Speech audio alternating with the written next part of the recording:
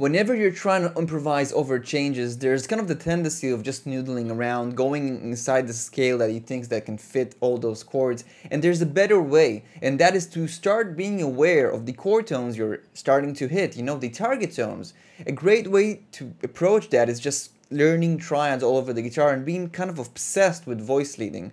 But there's always the stuff that you can do that are so simple that will bring you into that awareness. Let's just take something super simple today. I'm not even going to talk about jazz progressions. I'm talking about the cheesiest, the most common, yet beautiful, let it be chords, right? If I record the loop, it will sound like this. G, A minor,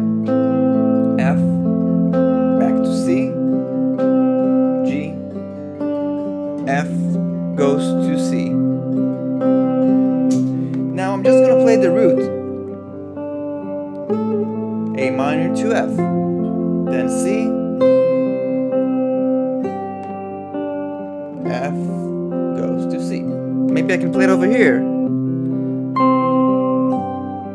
You know, A minor goes to F. Again, C, F goes to C. Right? Maybe on the low notes. Here's C, here's G, A minor to F, C. Good. How about just sliding into those? Or chromatic approach? Right? Kind of approaching them. Okay. What about here? half step below. Able to do that. Try that. I know it's simple, but... So now I'm just gonna play the thirds. It's only gonna be tackling the thirds of each of one of these chords, right? So, for that sake, on C we're gonna play an E, right? It's the third of that. On G we're gonna play a B, that's the third of that. On the A minor, we're gonna play that C note, and on F we're gonna play A. Then C gets an E, G gets a B, and then F gets an A, back to C. Okay, let's try that out. Three, four.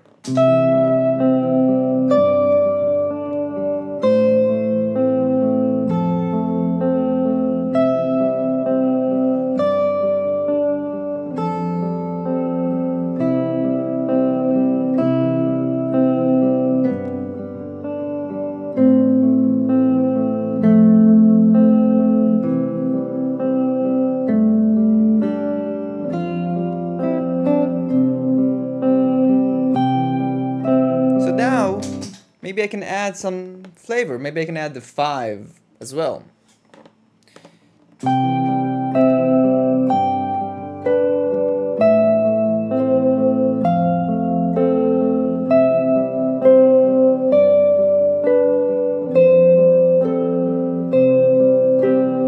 So now I'm sliding into the area where, which I have all the triad, you know, so the entire triad. And I'm not just gonna go around and play just root triads, I'm gonna voice lead.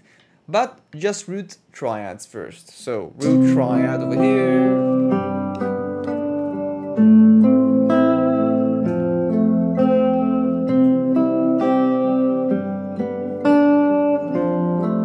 Let's go higher in the guitar.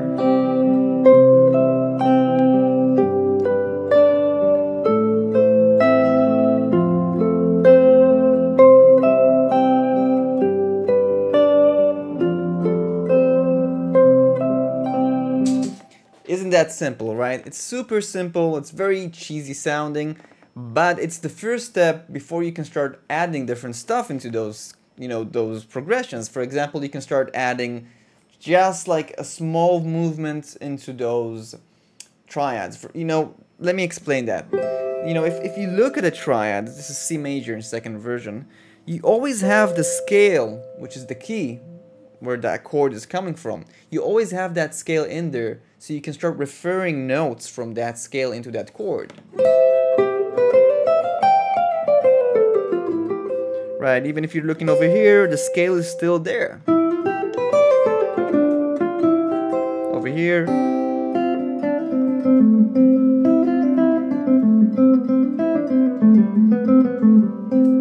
So if you start creating ideas with the certain triads, changing them in time, but referring some scale notes in there, you're gonna get this kind of vibe.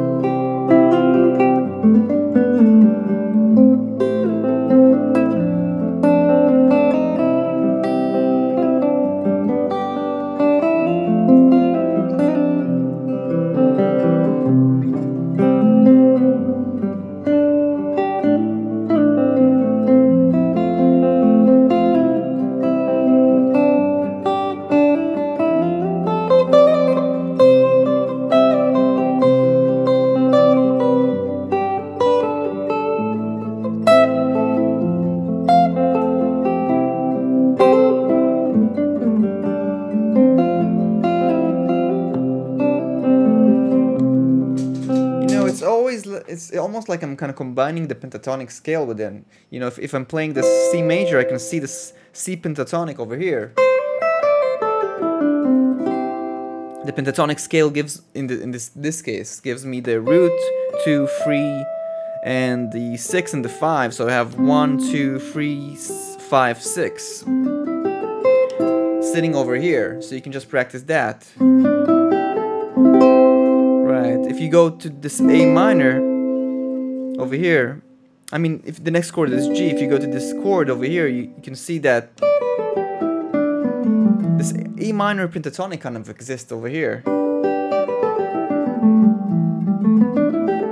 Which is exactly like this G major pentatonic scale. So the G major pentatonic scale is going to have a root, second, third, fifth, and a sixth, all living inside this triad.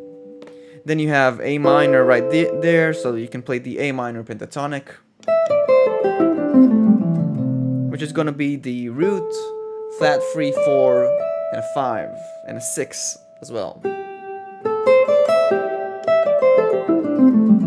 So it's very good to have the pentatonic scales underneath those triads. So you can take, you know, any triad, like let's say just a C major, try it over here and make sure that you have the pentatonic scale in your fingers. First inversion, second inversion,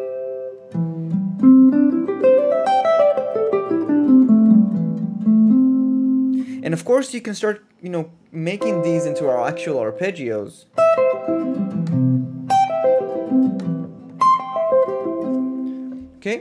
Now another thing that you can start doing is adding chromatic approaches. For example, instead of just playing this, you can go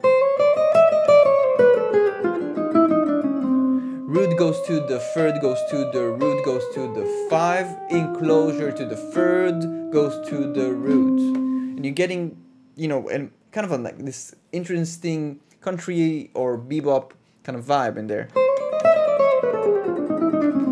if you look at the next chord, G, you can also create that.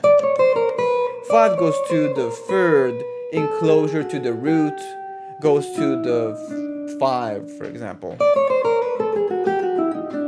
Now remember, you need to know when you're going to change the target tone, right? Because the harmonic pulse is going to be like C, G.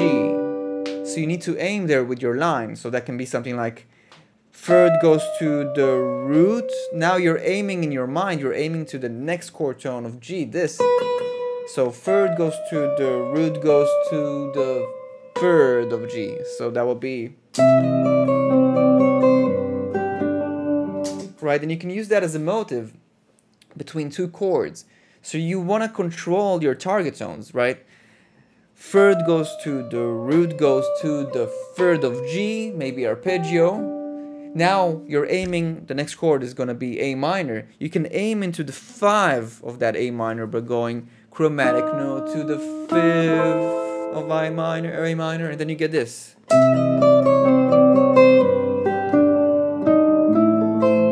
See? And then maybe on the F you can just go diatonic like you know, just maybe like you see this is F, I'm kind of going like that and then sliding pentatonic that lives inside my F major and then maybe can I can go to C, second inversion, and do like this embellishment of like, you know, G, maybe like these kind of like Hendrix stuff, right? And then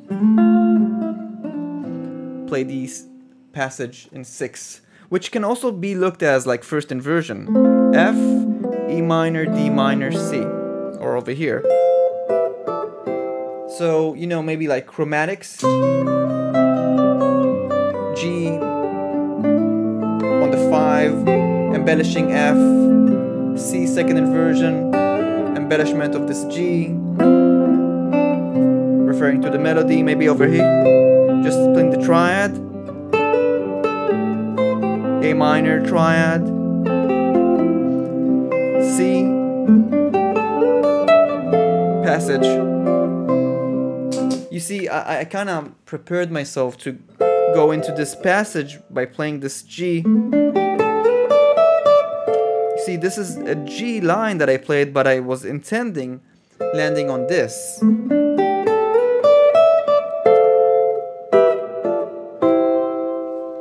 So as you can see, you know, there's many approaches, but everything, like the basic stuff, is that you want to get the sounds of the chords.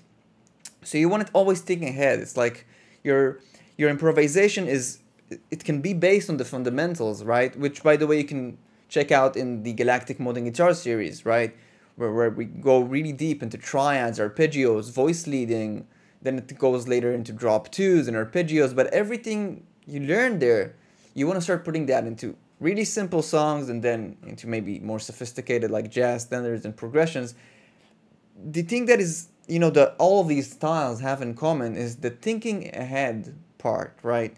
You're, you're kind of aiming into target notes. So even if you have like a voice leading part, you're, you can still use notes around that triad to kind of create a phrase that is leading to the next chord. You see, you're always thinking about okay, I'm in C, let me play maybe a line like that is like, you know, chromatic, because I want to go from a third to the root, but I'm thinking ahead like, oh, and I'm gonna land on the third of that G, here we go, and maybe A minor, you know, I can create this maybe line going into A minor, and then, you know, so it's, it's always thinking ahead, utilizing these stuff. So that means that when you're practicing, sometimes it's very good to take a step back from playing in time and just like kind of go, hmm, okay, maybe if I know my triads and I want to start with this one, maybe I can create a phrase around that. But I want to aim to the next chord tone here, maybe G, so I can go boo boo do, and then I have this result.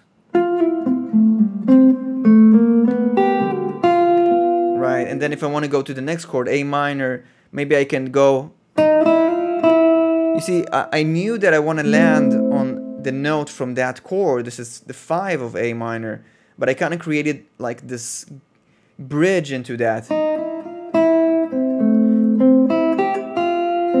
You see, now you're getting a motive here.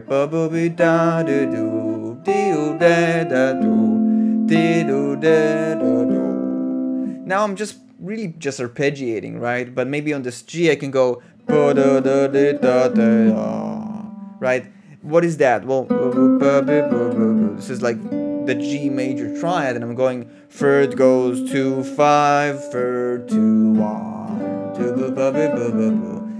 you you have all of these ideas in your mind more than you think, and you know you can also learn a lot of different ways of doing that by learning other people's solo. Like transcribing is the best way to get you know a ton of those into your playing so it becomes like muscle memory automatic.